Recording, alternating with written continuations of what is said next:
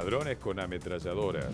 Un robo de película en la avenida Santa Fe al 3500. Estaban disfrazados de policías, los tres delincuentes que ingresaron al edificio después de, de maniatar al encargado. Un llamado al 911 alertó a la policía de la ciudad que detuvo a los malvivientes en plena huida.